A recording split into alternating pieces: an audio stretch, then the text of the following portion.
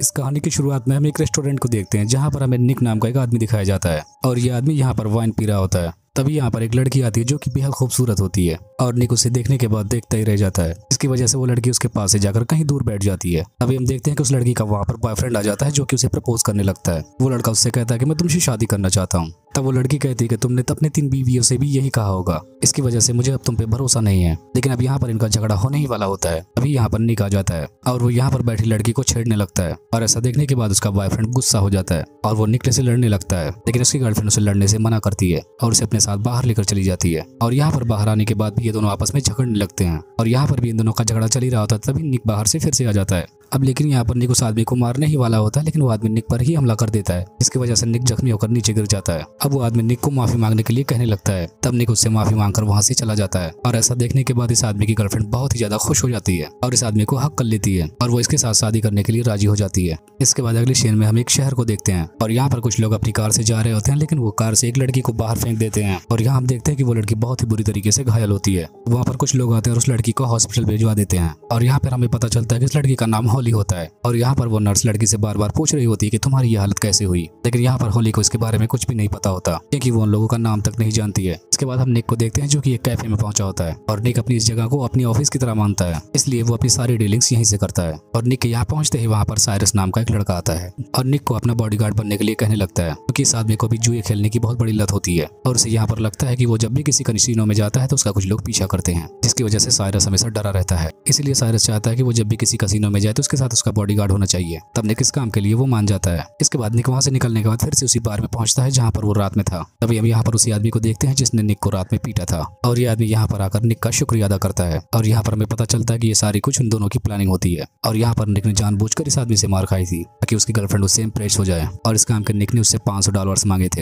लेकिन अभी आदमी निक से बहुत ज़्यादा खुश होता है क्योंकि उसकी गर्लफ्रेंड उससे शादी के लिए मान गई थी, जिस पर वो निक को एक हज़ार डॉलर देता है। लेकिन यहाँ पर निक अपनी ईमानदारी से सिर्फ़ पाँच सौ ही डॉलर लेने को कहता है कि मैंने पाँच सौ डॉलर से ही डिमांड की थी और यहाँ पर निक अपनी ज़ुबान का बिल्कुल पक्का आदमी होता है। इसलिए ना वो उससे एक पैसे कम लेता है, ना एक पैसे ज़्यादा और ऐसा सुनने के बाद वो आदमी और भी ज़्यादा खुश हो जाता है। और वो आदमी निक को पाँच सौ डॉलर देकर यहाँ से चला जाता है। इसके बाद हम देखते हैं कि निक अपने बार में चला जाता है और वहाँ की जो वेट्रेस होती है, वो निक की फ्रेंड हो जाती है और वो निक को कहती है कि तुमसे एक लड़की मिलना चाहती है और जिस लड़की का नाम होली है। और यहाँ पर हम जानते हैं कि निक होली को पहले से जानता है, इसीलिए निक होली से मिलने के लिए तैयार हो जाता है। लेकिन यहाँ पर निक होली की हालत देखकर परेशान हो जाता है, क्योंकि यहाँ पर होली को बहुत बुरी तरीके से चोट लगी होती है। इसलिए निक होली से उसके बारे में पूछने लगता है और यहाँ पर निक होली को पहले से जानता है क्योंकि होली एक वैश्या होती है। तब होली उसे बताते हैं कि वो कल होटल से बाहर आ रही होती है और जैसे वो लिफ्ट के अंदर घुसती है तो वहाँ पर उसे तीन लोग मिलते हैं और उसमें से तीन लोग बहुत ज़्यादा लंबे होते हैं और उसमें से एक छोटे आदमी ने कहा कि या तुम मुझसे पार्टी करना चाहती हो तो मैंने मना कर दिया। और ऐसा सुनने के बाद वो तीनों आदमी गुस्सा हो गए और तब वो तीनों पकड़कर मुझे ज़बरदस्ती अपने कमरे में लेकर गए। लेकिन उस कमरे में ले जाने के बाद जब मेरी आँख खुली तो मैंने देखा कि उस कमरे में कोई भी नहीं है। लेकिन तब वहाँ पर एक आदमी आता वो मेरे साथ ज़बरदस्ती करने की कोशिश करता है और जब मैंने उससे मना किया तो उसने मुझे बहुत मारा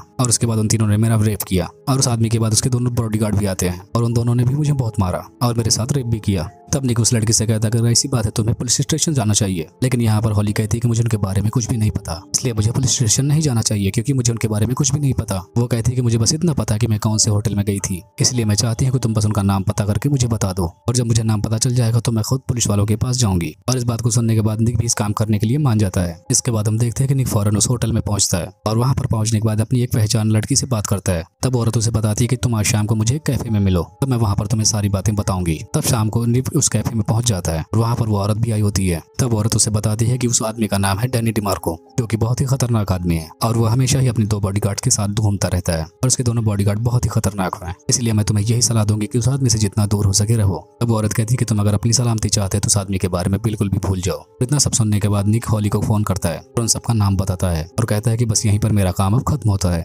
होली कहती है कि नहीं, मैं ये चाहती हूँ कि तुम इन तीनों को पकड़ो और फिर उन तीनों को सबक सिखाओ। लेकिन ये सुनकर निक काफ़ी गुस्सा हो जाता है और उससे कहता है कि तुम्हें पुलिस वालों के पास जाना चाहिए। तब होली रोकर उससे कहने लगती कि तुम्हें पता है उन्होंने मेरे साथ क्या किया। उन्होंने मेरा रेप किया, उसके बाद मेरे अंदर अपनी गन भी डाल दी। लेकिन यहाँ पर निक उसकी सारी बातों को नहीं मानता। और वो फ़ोन रख के वहाँ से चला जाता है और यहाँ से निकलने के बाद निक फ़ौरन साइरस के पास पहुँचता है और उसे लेकर के कसिनो में जाता है और वहाँ पर साइरस जुआ खेलने लगता है और इसी के पास निक बैठकर शराब पी रहा होता है। लेकिन यहाँ पर निक के दिमाग में अभी भी होली की बातें घूम रही होती हैं। इसी वजह से निक यहाँ से जाने लगता है। यहाँ पर साइरस उसे रुकने के लिए कहता है। तब निक यहाँ पर सारस को समझाता है कि तुम्हें यहाँ पर कोई भी कुछ नहीं करने वाला। इतना कहते ही, यहाँ से वो निकल जाता है। और फ़ौरन निक इसके बाद होली के पास पहुँचता है और यहाँ पर निक होली को फिर से एक बार समझाने की कोशिश करता है कि उसे अब पुलिस वालों के पास जाना चाहिए। लेकिन यहाँ पर होली निक से कहती है कि पुलिस वाले मेरी कोई मदद नहीं करने वाले, क्योंकि मैं एक वैश्या हूँ। इसकी वजह से मैं और भी ज़्यादा परेशानी में फंस जाऊँगी। लेकिन मुझे कैसे भी करके उस आदमी से बदला लेना है। तब यहाँ पर इन दोनों के बीच काफ़ी बहस होती है। तब निक वहाँ पर जाने के लिए मान जाता है और निक कहता है कि जब मैं तुम्हें फ़ोन करूँगा तो तुम मेरे बताए हुए एड्रेस पर चली आना और इस बात पर होली भी मान जाती है। इसके बाद हम देखते हैं कि निक उस आदमी के होटल पर पहुँच चुका है और वहाँ का दरवाज़ा खटखटाता है। तभी वहाँ पर उसके बॉडी दरवाज़ा खोलते हैं और जब वो लोग निक से पूछते हैं कि तुम कौन हो तो निक अपने आप को एक दलाल बताता है कि वो लड़कियाँ सप्लाई करने वाला है। और इसी बात सुनने के बाद वो लोग उसे अंदर आने देते हैं। अब यहाँ पर निक फ़ौरन डैनी के पास पहुँच जाता है। तब डैनी निक से पूछता कि आखिर लड़कियाँ कहाँ हैं? वहाँ पर निक बातें बनाने लगता है। लेकिन तब यहाँ पर डैनी गुस्सा होकर निक पर गन पॉइंट कर देता है और उससे कहता है कि अगर तुम्हें ज़िंदा रहना है तो मेरी बातों को मानो। वो कहता है कि अगर मुझे तुम्हारी बातों में सच्चाई लगी तो मैं तुम्हें जाने दूँगा। ये बात सुनने के बाद निक उसकी तारीफ़ करने लगता है और देखते ही देखते यहाँ पर निक को लगता है कि मेरा काम खराब हो रहा है। इसकी वजह से निक यहाँ पर अपना कमाल दिखाना शुरू कर देता है और वो एक ही झटके में वहाँ के दोनों बॉडीगार्ड को बेहोश कर देता है और ऐसा देखकर डैनिस और फ़ौरन गोलियाँ चलाने लगता है। लेकिन यहाँ पर बहुत तेज़ी से निक डैनी को भी बेहोश कर देता है। इन तीनों को बेहोश करने के बाद एक साथ वो बाँध देता है और इसके बाद वो यहाँ पर हॉली को बुलाता है। अब यहाँ पर हॉली डैनी को टॉर्चर करने लगती है, इसलिए अपने पर्स के अंदर से एक कैंची को निकालती है। अब तब डैनी हॉली को पचास हज़ार डॉलर देने का डिमांड करता है। तो कहता है कि इन सारे पैसों को और सारी चीज़ों को भूल जाओ। ऐसा सुनने के बाद हॉली उन पचास हज़ार डॉलर को निक कर दे देती है। तब हॉली कहती है कि ये कभी भी पैसे के बारे में नहीं था। ये उस बारे में है जो तुमने मेरे साथ किया था। इसलिए मैं तुम्हें अब सबक सिखाना चाहती हूँ और मैं तुम्हें दिखाना चाहती हूँ कि दर्द आखिर होता क्या है। और इतना कहते ही वो डैनी का कैंची से काट देती है। इसकी वजह से डैनी यहाँ पर बहुत ज़्यादा चिल्लाने लगता है। तब यहाँ पर हॉली डैनी से कहती है कि मैं तुम्हारे साथ वही गेम खेलना चाहती हूँ जो तुमने मेरे साथ खेला।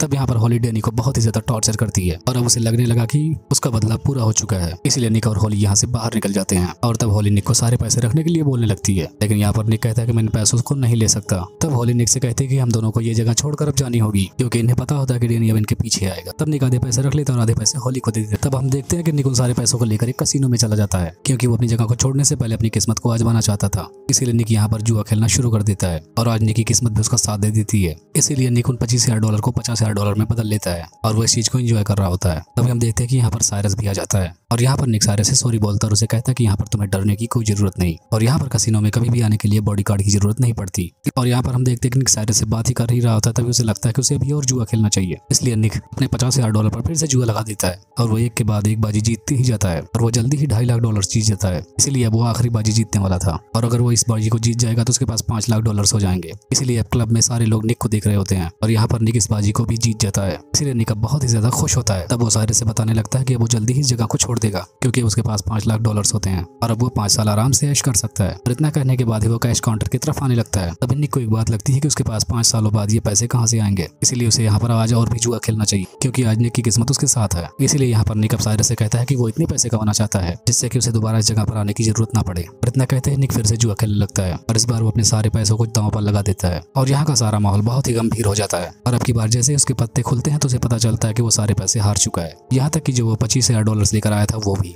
इसलिए हम देखते हैं कि निका बहुत ज़्यादा उदास हो चुका है। अब वो वहीं पर बैठकर शराब पीने लगता है और वो अपने आप को बहुत ज़्यादा कोसने लगता है। इसलिए वो वहाँ पर बहुत सारी शराबों को पीता जाता है और वो वहीं पर शराब पीकर बेहोश होकर गिर जाता है और जब उसकी आँख खुलती है तो अपने सामने साइरस को पाता है। तब साइरस उसे अपने साथ जूस पीने को बोलता है। तब साइरस कहता है कि मैं तुम्हें को सच्चाई बताना चाहता हूँ। बताता है कि मैं इस जगह पर सिर्फ़ तुमसे मिलने के लिए आया था। साइरस उसे कहने लगता है कि मैं तुम्हारे साथ रहना चाहता हूँ और तुम मुझे अपने जैसा बना दो, क्योंकि मुझे बहुत ही ज़्यादा डर लगता है। यहाँ पर निक कहता है कि तुम अभी बच्चे और यहाँ से चले जाओ। लेकिन यहाँ पर इतनी सारी बातें होने के बाद भी निक साइरस की मदद करने से मना कर देता है और उससे घर जाने को बोलने लगता है। लेकिन तभी हम देखते हैं कि यहाँ पर डैनी के भी कुछ लोग आ जाते हैं और निक को पकड़ने की कोशिश करने लगते हैं। लेकिन यहाँ पर निक शराब के नशे में बहुत ही ज़्यादा मारता है और वहाँ पर मारकर सारे लोगों को बेहोश कर देता है। यहाँ पर दो लोग और आते हैं जो की बेबी के लिए काम करते थे और हमें पता चलता है की बेबी यहाँ का माफिया है और उसकी बात यहाँ पर कोई भी नहीं काटता। इसीलिए निक उन दोनों आदमियों के साथ वहाँ पर चला जाता है और यहाँ पर जाने के बाद उसकी मुलाकात बेबी से होती है और यहाँ पर हमें पता चलता है की बेबी निक को बहुत ही पसंद करता है और यहाँ पर बेबी निक से कहता है कि जगह पर पूरा तुम्हारा ही नाम चल रहा है और हर जगह पर तुम्हारे ही चर्चे हैं, क्योंकि अभी भी तुमने पाँच हज़ार डॉलर हारे हैं। और बेबी निक से इतना कहते ही वो कहता है कि अब तुम्हें मैं डेनी के पास लेकर चल रहा हूँ, जो कि अभी इस वक्त मेरे ही अड्डे पर है। उसका कहना है कि तुमने उसके दो बॉडीगार्ड को बहुत बेरहमी से मारा है। इसलिए मैं चाहता हूँ कि सिलसिले को जल्दी जल्दी मैं खत्म कर दूँ। और हम देखते हैं कि डैनी और निक अब दोनों एक दूसरे के आमने सामने होते हैं।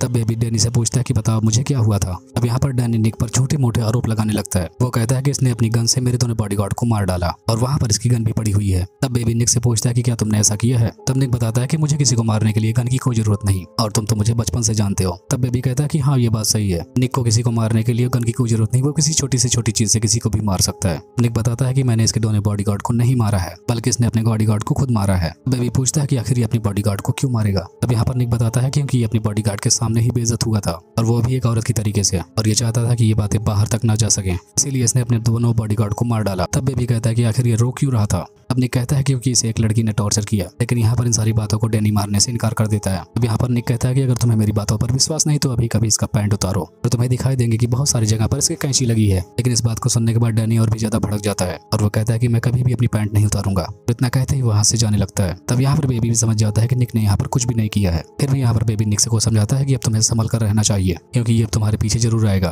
और हम देखते हैं कि निक भी अब यहाँ से जाने लगता है और वो अगले दिन एक कैफ़े में जाता है और वहाँ पर उसे फिर से साइरस मिलता है और यहाँ पर साइरस कहता है कि मुझे तुमसे बहुत कुछ सीखना है और अब मैं जान चुका हूँ मुझे अपनी ज़िंदगी कैसे जीनी है और अब मुझे किसी से भी नहीं डरना है। इसलिए मैं आसाम की फ़्लाइट से वापस जा रहा हूँ। लेकिन जाने से पहले मैं तुम्हें एक गिफ्ट देना चाहता हूँ। और इतना कहने के बाद वो निक को एक लिफाफा देता है और उस लिफाफे में पाँच लाख डॉलर का चेक होता है। और उसके साथ साथ एक नए देश की टिकट भी होती है। लेकिन निक इन सारी चीज़ों को देखने के बाद इस चीज़ को लेने से इनकार कर देता है। अभी हम देखते हैं कि यहाँ पर डैनी आ जाता है जो कि बहुत सारे लोगों के साथ होता है। और अब यहाँ पर वो निक को मारने वाला ही होता है। अभी यहाँ पर साइरस गाना गाने लगता है। इसकी वजह से सारे लोग डिस्ट्रैक्ट हो जाते हैं और निक यहाँ से बाहर भाग निकलता है। इसलिए डैनी भी अपने सारे लोगों को लेकर अब उसे बाहर ढूँढने लगता है। तभी हम निक को देखते हैं, जो की छत पर छुपा हुआ होता है। लेकिन तभी यहाँ पर निक को रियलाइज़ होता है की अगर उसने आज डैनी को नहीं मारा तो सारी ज़िंदगी उसका पीछा करेगा। इसलिए अब निक नीचे उतरता और एक एक करके सारे लोगों को मारने लगता है। लास्ट में वो डैनी को भी मार डालता है। और डैनी को मारने के बाद वो एक गाड़ी लेकर यहाँ से निकल जाता है। और तभी वहाँ पर उसके पास साइरस भी आ जाता है। और एक बार वो फिर से उसे वही लिफाफा देता है। वो कहता है, क्योंकि तुम मेरे बेस्ट फ्रेंड हो, इसलिए मैं तुम्हें ये दे रहा हूँ। तब निक उस लिफाफे को ले लेता है। और उस लिफाफे को लेकर यहाँ से निकल जाता है। देखते हैं कि निक अपने एक नए सफ़र पर निकल चुका है। इसी के साथ ये मूवी यहीं पर एंड हो जाती है।